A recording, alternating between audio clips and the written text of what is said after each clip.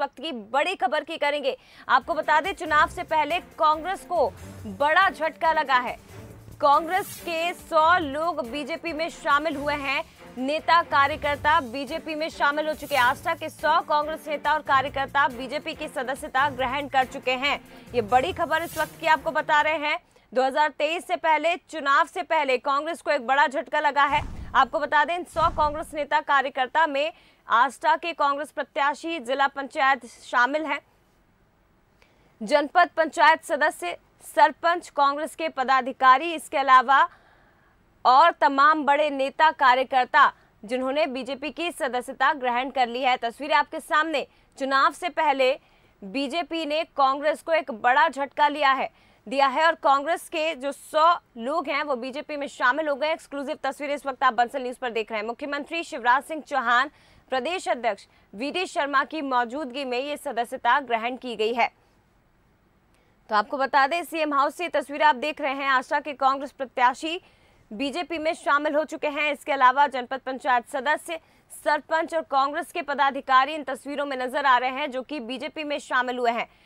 सौ नेता कार्यकर्ता जिन्होंने कांग्रेस को एक बड़ा झटका दिया है चुनाव से पहले। हालाँकि चुनाव में अभी समय बाकी है, लेकिन अब देखिए, बीजेपी ने झटका दिया है कांग्रेस को। चुनाव से पहले सौ लोग बीजेपी में शामिल हुए हैं। तो एक्सक्लूसिव तस्वीरें इस वक्त बंसल न्यूज़ पर आप देख रहे हैं। मुख्यमंत्री निवास की तस्वीरें, सीएम शिवराज सिंह चौहान ने इन सभी को पार्टी की सदस्यता ग्रहण करवाई है और एक बड़ा झटका देते हुए सभी तमाम सौ नेता कार्यकर्ता बीजेपी में शामिल हो चुके हैं। तो प्रदेश अध्यक्ष वी शर्मा, सीएम शिवराज सिंह चौहान की मौजूदगी में कांग्रेस का हाथ छोड़कर अब बीजेपी की सदस्यता इन तमाम नेता कार्यकर्ताओं ने ले ली है।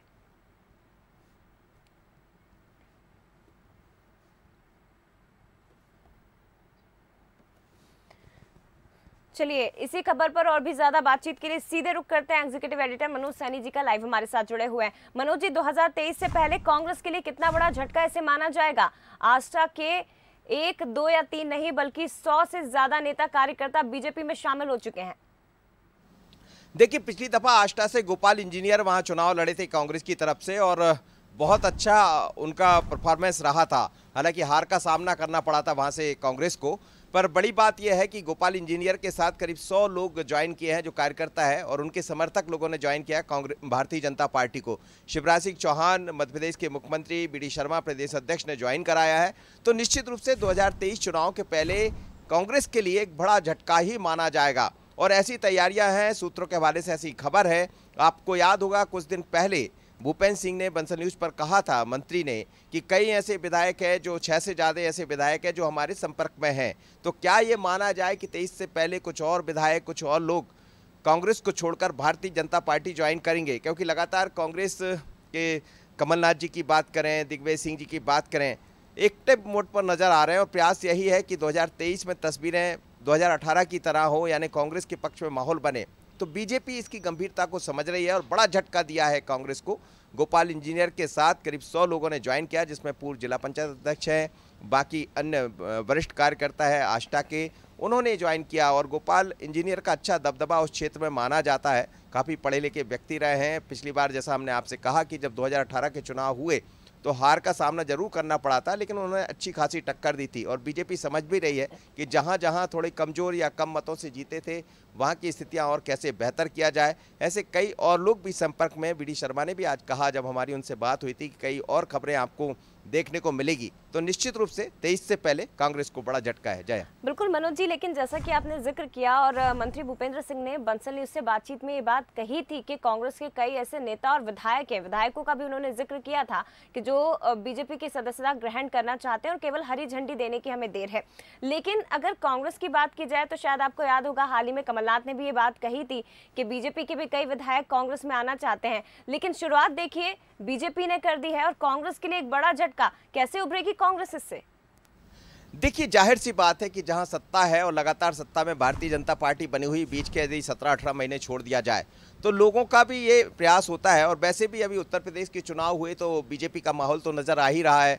गुजरात में हमने देखा बहुत कुछ बदल दिया, चुनाव की तैयारियों में लगी हुई भारतीय जनता पार्टी। तो कहीं ना कहीं कार्यकर्ताओं के मन में कांग्रेस को ये विश्वास जताना होगा।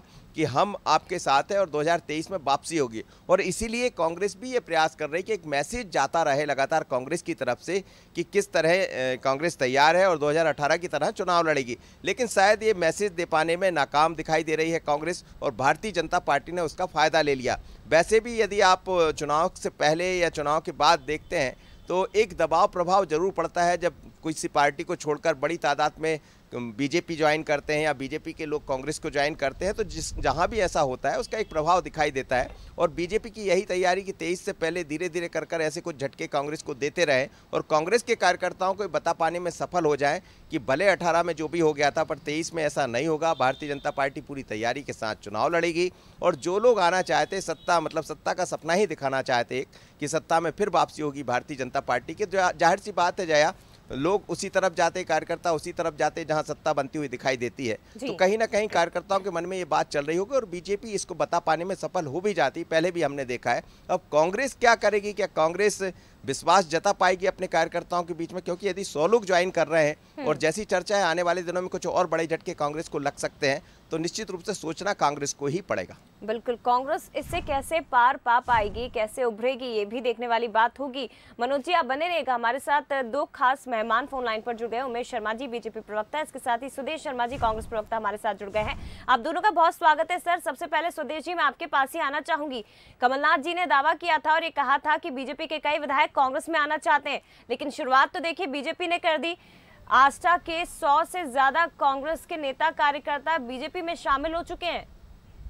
टिकट दिया और तीनों बार जो हारे। ये पिटे हुए मोहरे हैं, इनके जाने से कांग्रेस को कोई फ़र्क नहीं पड़ने वाला। कांग्रेस में जाबाज लोग वह लोग जो इनकलाबी रहे हैं वह लोग जो अंग्रेज़ों से नहीं डरे वह लोग जो अंग्रेज़ों से भयभीत नहीं हुए, माफिया नहीं मांगी। कांग्रेस इनकलाबियों का वो संगठन है, पंडित नेहरू के पद चिन्हों पर चलने वाला, राष्ट्रपिता महात्मा गांधी के पद चिन्हों पर चलने वाला, और कांग्रेस तो एक समुद्र है, यहाँ एक गोपाल के जाने से कोई फ़र्क नहीं पड़ने वाला, दस गोपाल आके फिर ज्वाइन कर लेंगे। ठीक है, ये कांग्रेस का कहना है, हमारे साथ बीजेपी से उमेश शर्मा जी भी जुड़े हुए हैं। उमेश जी, कांग्रेस को तो ज़्यादा फ़र्क पड़ नहीं रहा है। स्वदेश जी कह रहे हैं कि ऐसे तो दस गोपाल इंजीनियर कांग्रेस शामिल कर सकती है इलेक्शन से पहले। बहुत अच्छी बात है। कांग्रेस के मित्रों की आत्ममुग्धता सदैव हमको प्रेरित करती है और प्रोत्साहित भी करती है। और हम चाहते हैं कि इस आत्मानंद में, इस आत्ममुग्धता में कांग्रेस पार्टी डूबी रहे। जया जी, गंभीर बात यह है कि अगर कोई भी राजनीतिक दल का लंबे समय तक काम करने वाला कार्यकर्ता अपने दल का परित्याग करता है तो कहीं ना कहीं उमेश जी मैं आपको रोकना चाहूँगी यहाँ पर मैं फिर आपके पास लौटूँगी। सर चर्चा हम आगे बढ़ाएँगे लेकिन आपको बता दें कि बीजेपी में शामिल हुए हैं सौ से ज़्यादा नेता कार्यकर्ता और मुख्यमंत्री कुछ बोल रहे हैं। अपने साथियों के साथ भारतीय जनता पार्टी परिवार में आज जो सम्मिलित हो रहे हैं आस्था के लोकप्रिय नेता आदरणीय इंजीनियर गोपाल सिंह जी बहन कृष्णा जी, अब गोपाल कृष्णा को तो भाजपा में रहना चाहिए, उनका कांग्रेस में क्या था?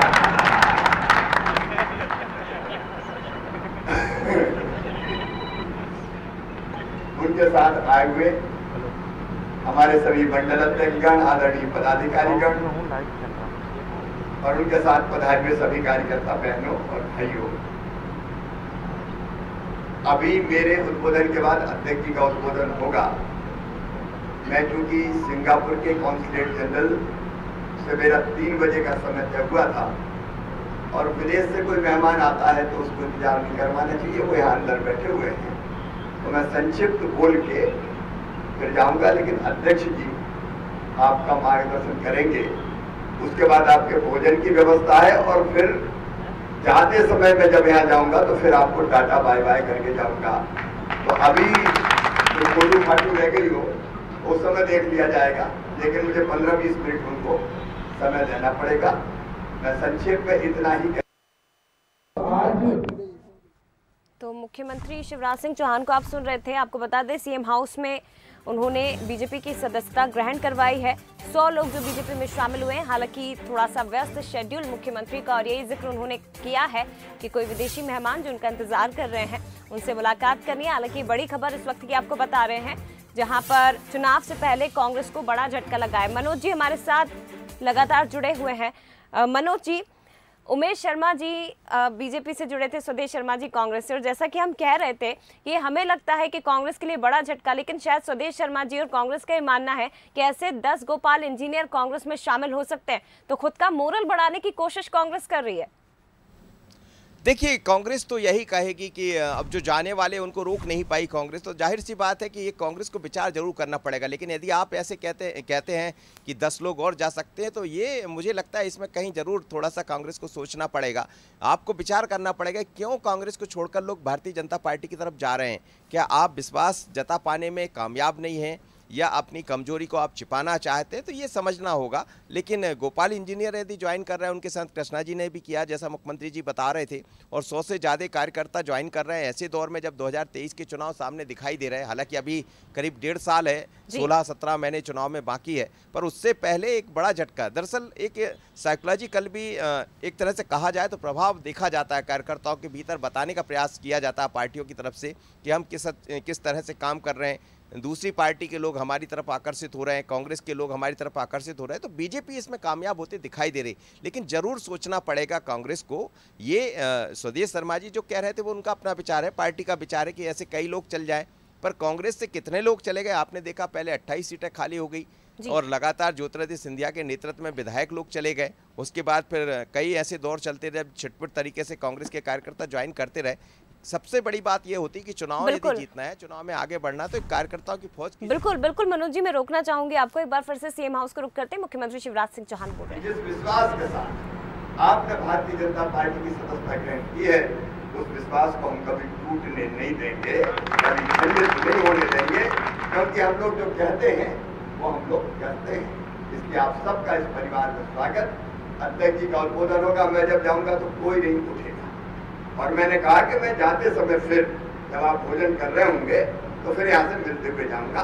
क्योंकि विदेशी मेहमान हैं और अपन देर से पहुँचे तो फिर कहेंगे ये इंडियन टाइम वाले टाइम पे नहीं आए। इसलिए वैसे भी पंद्रह मिनट लेट हो गए। तो आप सब बैठेंगे। मैं प्रदेश अध्यक्ष जी से और कोई नहीं बोलना मैं सीधे प्रदेश अध्यक्ष जी से आग्रह करता हूँ कि वो आपको संबोधित करें।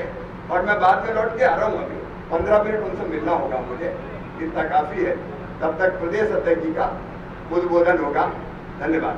क्या करें अच्छा करते हैं? अध्यक्ष वगैरह करते हैं। तो मुख्यमंत्री शिवराज सिंह चौहान सीएम हाउस से बोल रहे थे आपको बता दें कि 100 लोग बीजेपी में शामिल हुए हैं। आस्था के 100 कांग्रेस नेता गोपाल इंजीनियर उनके समर्थक नेता कार्यकर्ता बीजेपी में शामिल हो चुके हैं और इन्हीं कार्यकर्ताओं को मुख्यमंत्री संबोधित कर रहे थे। चुनाव से पहले कांग्रेस को एक बड़ा झटका बीजेपी ने दिया है। तो हालाँकि कांग्रेस अब इससे कैसे उभरेगी, ये देखने वाली बात होगी, लेकिन शुरुआत हो चुकी है। 2023 इलेक्शन से पहले एक बड़ा झटका बीजेपी ने कांग्रेस को दे दिया है। और हमारे साथ मेहमान जुड़े थे, आपका बहुत धन्यवाद। मनोज जी भी हमारे साथ जुड़े थे, आप दोनों का भी बहुत शुक्रिया, सर। तमाम जानकारी, तमाम बातचीत के लिए।